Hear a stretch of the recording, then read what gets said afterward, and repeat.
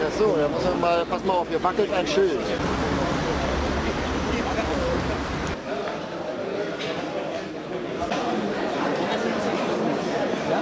Meine sehr verehrten Damen und Herren, ist eine Informationsveranstaltung. Ausgelöst durch ein entsprechendes Interesse nicht nur im Stadtrat, sondern auch von weiten Teilen der Bevölkerung, wie sich hier eindrucksvoll zeigt. Grund für diesen Informationsabend ist, eine, ist die Folge der Revision im Juni 2010 gewesen. Dort, dort wurden bei einer Ultraschalluntersuchung unregelmäßige Resultate an einem Rohr im Primärkreislauf entdeckt, die auf einen Riss hindeuten könnten. Wir diskutieren heute nicht über Fluch und Segen der Atomkraft. Also das ist eine Bürgerinformationsveranstaltung.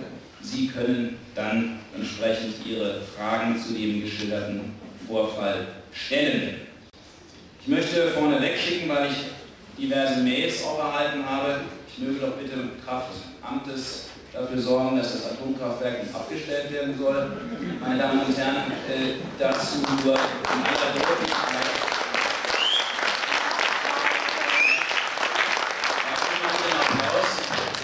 Ich muss Sie nämlich enttäuschen.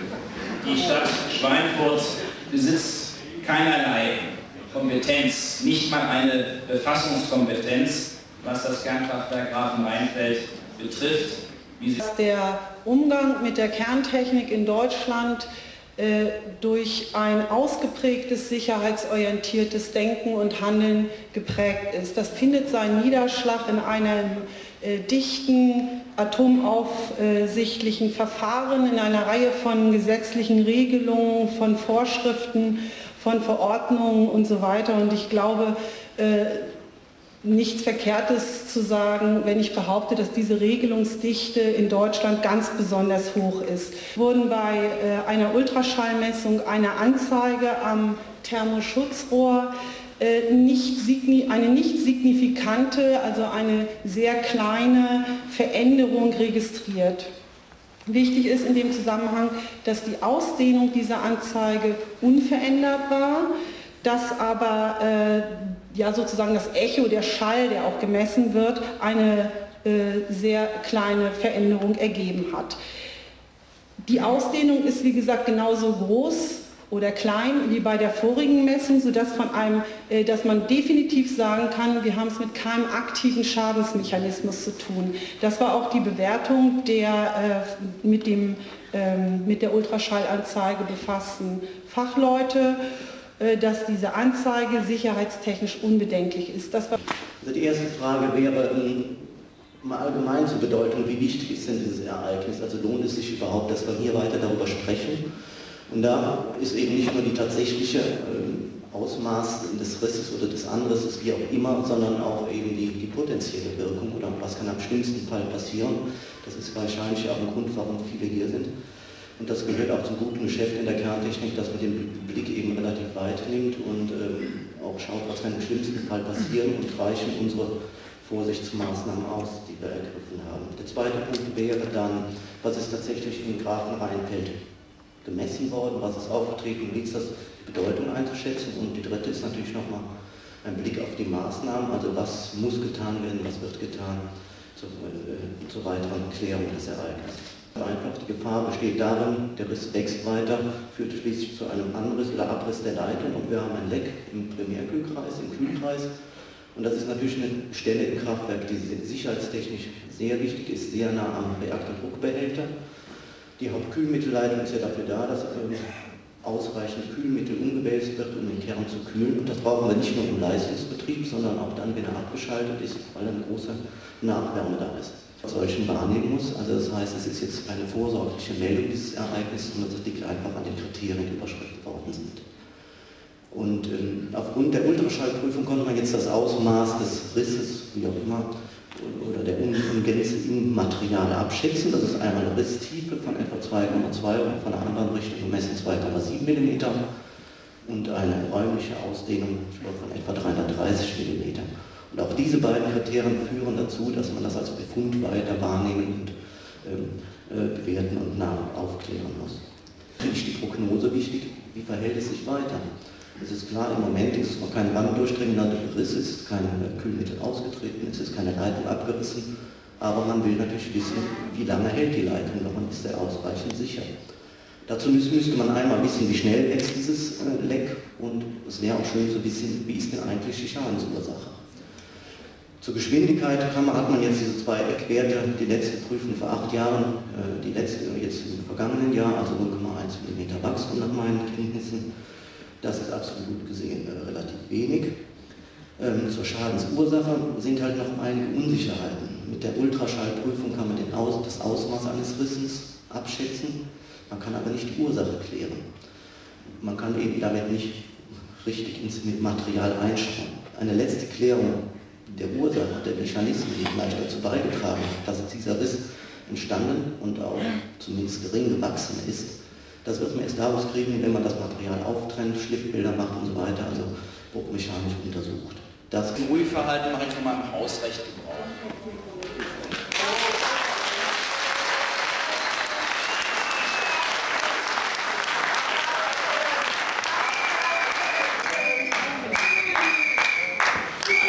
Sind das äh, Ihre Vorstellungen von einer fairen und offenen Diskussion? Dann haben Sie sich gerade hier selbst entblößt große Zahl der Teilnehmer zeigt, dass die Veranstaltung notwendig ist. Äh, ich, will, äh, ich, möchte zunächst einmal das bestätigen, was die Frau äh, Ullmann ja eingangs gesagt hat. Es gibt eine eindeutige und einhellige Bewertung des Befundes durch die Bayerische Aufsichtsbehörde, das sind wir im Bayerischen Umweltministerium, durch die Fachleute des TÜV Süd, durch die Experten der Reaktorsicherheitskommission und durch das Bundesumweltministerium. Und diese Bewertung lautet, ein Weiterbetrieb der Anlage des Kernkraftwerks Grafenrheinfeld bis Ende März ist sicherheitstechnisch unbedenklich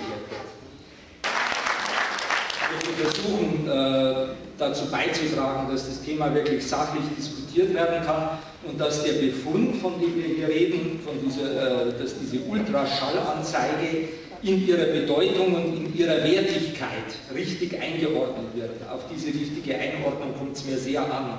Und da bin ich Ihnen, Herr Kurt, äh, durchaus dankbar für die Feststellung, äh, Sie haben gesagt, eine akute Gefahr äh, scheint nicht gegeben zu sein, das kann ich nur unterstreichen, aber ich darf Sie gleichzeitig auch bitten, äh, bitte, ja, Sie sind auch äh, Mitglied der Reaktorsicherheitskommission nicht von einem Störfall zu reden. Sie wissen, was ein Störfall ist. Störfall. Daher wissen wir auch, äh, die Anlagen in Bayern, die bayerischen Kernkraftwerke sind sicher.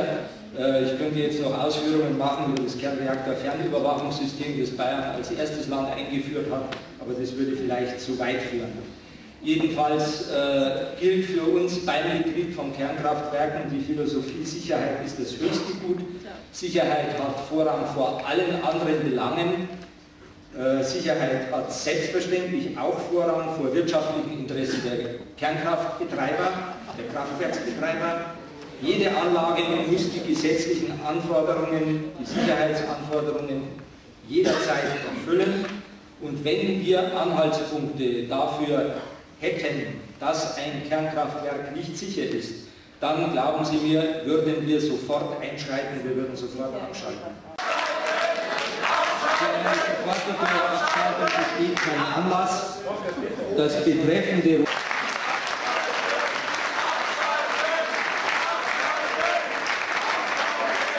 Die Meldung kam jetzt hier an, äh, zu meiner Rechten darauf nicht auf die Tiefe des Risses, sondern auf die systematische Ereignisursache, dass man die nicht ausschließen kann, nämlich dass ein ermüdungsrelevanter Faktor da ist. Und das ist eben jetzt auch nochmal interessant für längere Laufzeiten der Kraftwerke, das kann ich auch nochmal sagen, weil das eben ein typischer Alterungseffekt ist.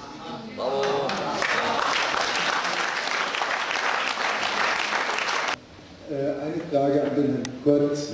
Hätte die zerstörende Prüfung bei der Revision im Juni 2010 einen äh, Riss ergeben, wäre das dann ein meldepflichtiger Vorfall gewesen. Wäre worden und definitiv ein Riss festgestellt, wäre das dann meldepflichtig gewesen? Ja, diese, diese Maßnahme wäre ja nur ergriffen worden, wenn man sich also begründete Annahmen hätte, dass es da ein Riss vorliegt. Ne? Ja. Also das, das, Ereignis oder die, der Hinweis daraus, der wäre ja schon vorher gewesen. Den bekommt man nicht erst durch, durch das Auftrennen, sondern da muss ja schon was vorher gelaufen sein. Ne? Das ist eben eine Bewertung dieser Anzeigen und da werden natürlich auch Experten und die Behörden mit eingeschaltet. Ne? Und des Ultraschallmessergebnisses das Rohr rauszunehmen und einer zerstörenden Prüfung zu unterziehen und hätte dann dort einen Riss festgestellt, wäre das ein meldepflichtiges Ereignis gewesen und welchen Gang hätte das in der INES-Einstufung gehabt? Ähm, also wenn man Riss vorgefunden hätte, wäre das, also wenn er groß genug wäre, wäre es natürlich ein meldepflichtiges Ereignis. Ich muss auch sagen, der, der Betreiber hat natürlich alle Freiheiten, den Ausbau eines solchen Teils zu beantragen und dann zu prüfen. Frage an Herrn Larzig und die Frau Ullmann, wie Sie mir Sicherheit garantieren können, wenn Sie Ihre Untersuchungen auf den TÜV Süd begründen, der zu zwei Drittel Vattenfall und E.ON gehören. Also wenn Sie Ihre Untersuchungen darauf aufbauen, also eine Farce.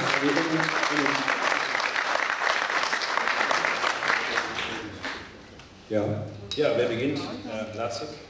Also ich glaube, dem kann man klar widersprechen, dass der TÜV, wie Sie gesagt haben, TÜV Süd, ja. TÜV Süd unter Vattenfall gehört, stimmt nicht. Aktiengesellschaft, die zu zwei Drittel der TÜV Süd ist ein eingetragener Verein. Äh, er hat ca. 13.500 Mitglieder, die jeweils eine Stimme besitzen und weder Beiträge entrichten noch Ausschüttungen erhalten. Das hat also letztlich äh, zur Folge, dass niemand, also zum Beispiel auch ein Betreiber von Kernkraftwerken, Anteile am TÜV Süd halten kann oder in der Lage wäre, in irgendeiner Form auf die Geschäftstätigkeit des TÜV Süd Einfluss zu nehmen.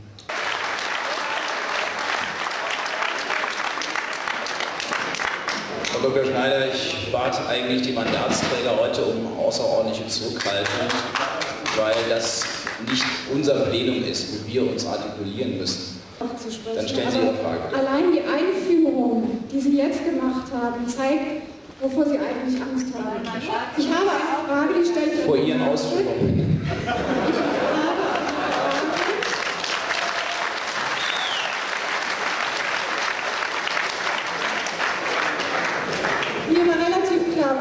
Ziel hinausläuft und Sie unterstützen das in voller Gänze. Äh, ich habe zunächst eine Aussage zum Podium zu machen und zum Anlass dieser Veranstaltung überhaupt und das, der Ursprung liegt im Stadtrat und deswegen darf sich sicher auch ein Stadtrat äußern. Wir wollten das Thema, das uns alle als Bürger und als Vertreter der Stadt beunruhigt hat, oder einen Teil hat es beunruhigt, ähm, wir wollten Informationen erhalten. Diese Informationen waren zunächst von der Mehrheitspartei und von diesem Oberbürgermeister geplant, indem in einem Ausschuss zwei Vertreter von E.ON sprechen sollten. Das war nicht die Information, die wir uns gewünscht haben. Wir hatten ursprünglich den Antrag gestellt, Herrn Renneberg hier am Podium zu haben und ein ausgewogenes Podium. Dieses Podium ist nicht ausgewogen und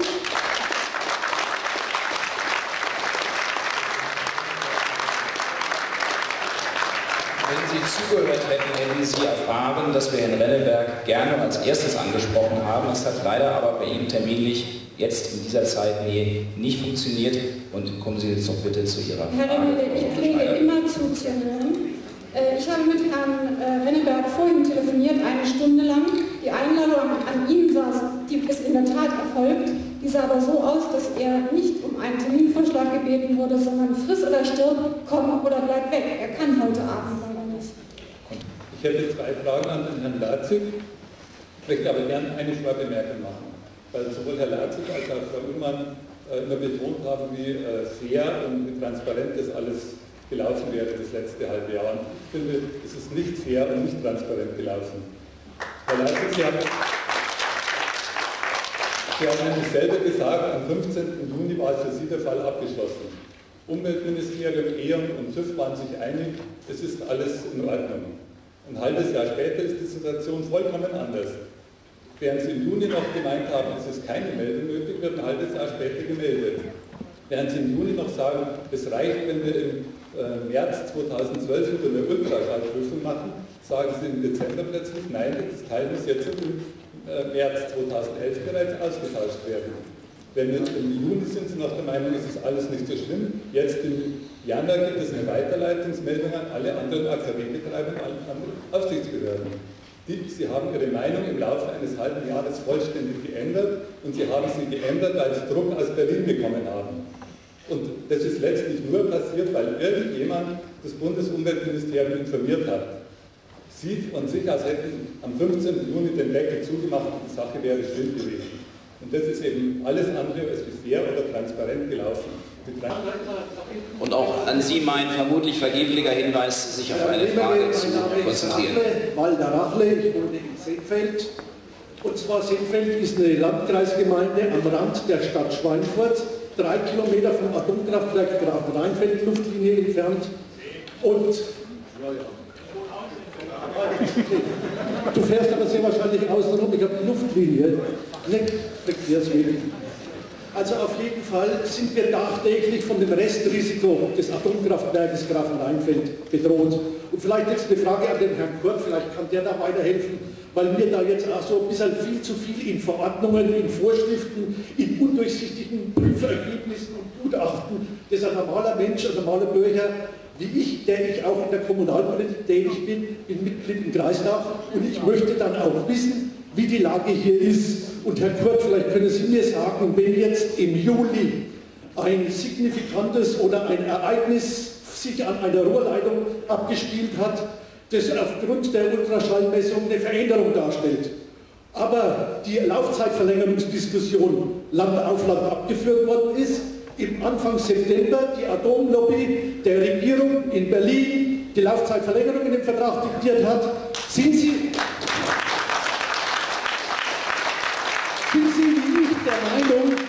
da eine Unregelmäßigkeit in Grafenrheinfeld, eine Meldung darüber überhaupt nicht ins Bild passt, um die Laufzeitverlängerung äh, durchzudrücken.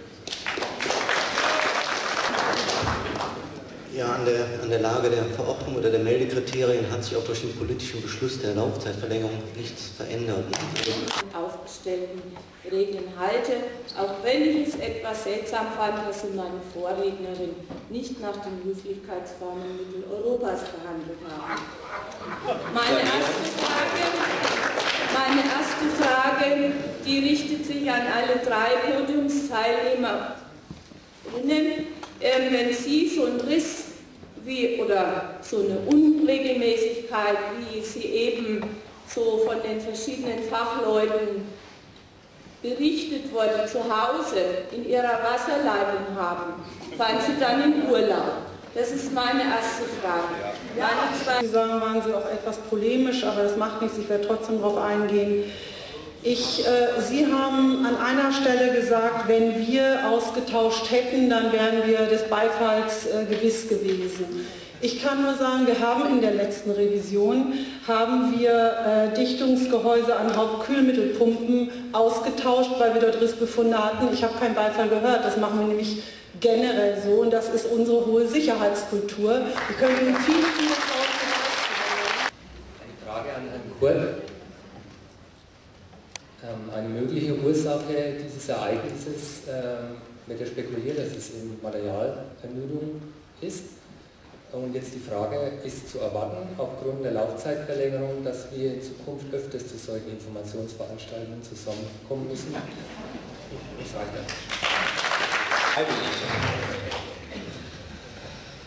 Ja, also zum einen, also jetzt rein von der Definition, Ermüdung ist eben altersbedingter Schaden, also es, Ermüdung tritt auf durch zunehmende Belastungen, die sind eben an Zeit abhängig oder von der Laufzeit abhängig. Insofern werden auch die ermüdungsrelevanten Schäden natürlich zunehmen können, aber nicht müssen mit, mit zunehmender Laufzeit. Also das, aber dafür gibt ich fand auch die Veranstaltung insofern fast ein bisschen wie absurdes Theater. Wir unterhalten uns hier über, das, über die Problematik, äh, ob dieses Rohr jetzt sofort ausgebaut werden muss oder erst im März, während auf der anderen Seite recht zeitnah eine Laufzeitveränderung bis, äh, Verlängerung bis 1928 beschlossen wurde. 2028. meine Frage war, wie das, das, äh, wie das, das Bayerische Umweltministerium eigentlich vertreten kann. Und das andere war, was auch mein Einwurf äh, während Ihrer Ausführungen gemacht hat, äh, war der Punkt, wir hatten zum einen dargelegt bekommen, dass es sich bei dem Verdacht auf einen Ermüdungsdruck, äh, auf einen Ermüdungsriss in einem höchst sicherheitsrelevanten Bereich äh, sicherlich nicht um eine Bagatelle handelt. Wie kann dann Ihr, Ihre äh, Ministerium in dem Fall von einer freiwilligen Untersuchung sprechen? Von einer freiwilligen, letztendlich klärenden Untersuchung, so haben Sie das dargestellt. Erläuterungen über Ihr Prüfverfahren. Sie sprechen immer von einer Ultraschallprüfung. Über eine Ultraschallprüfung stellen Sie gewisse Abweichungen fest. Die sind spezifiziert nach oben und nach unten. Und Sie sprechen immer, deuten Risstiefen an, mehr oder weniger. Eine exakte Risstiefe können Sie aber nur feststellen, wenn Sie das Rohr heraustrennen, wenn Sie Schliffbilder machen, über ein Raster-Elektronenmikroskop die Risstiefe feststellen und dann können Sie exakt diskutieren, was Sie machen und wie Sie das machen. Aber alles, was Sie bisher erzählt haben, es geht bei mir irgendwo vorbei. Über eine Frage an Sie. Äh, mit welchen Kosten ist etwa der Austausch dieses fraglichen Bauteils verbunden?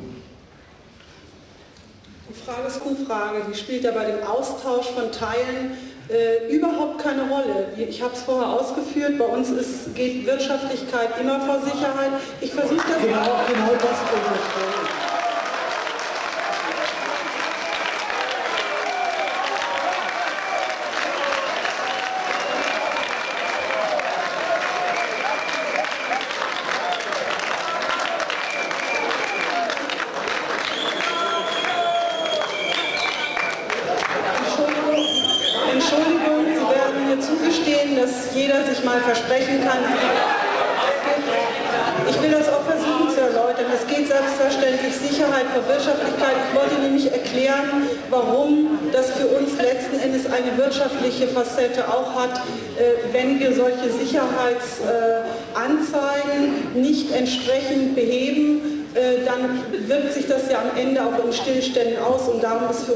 oberste Prinzip Sicherheit, äh, weil wir damit letzten Endes die Anlage auch wirtschaftlich betreiben können. Wir haben jetzt die ganze Zeit gehört, dass letztes Jahr im Sommer dieser Befund festgestellt wurde und jetzt wird reagiert. Was mich aber mittelprächtig entsetzt, ist die Tatsache, dass offensichtlich ja 2001 bei einer Revision schon eine Unregelmäßigkeit festgestellt wurde und offensichtlich kein Anlass gesehen wurde, während neun Jahren weiterzuschauen, was das jetzt eigentlich weiter zur Folge hatte und was damit passiert ist.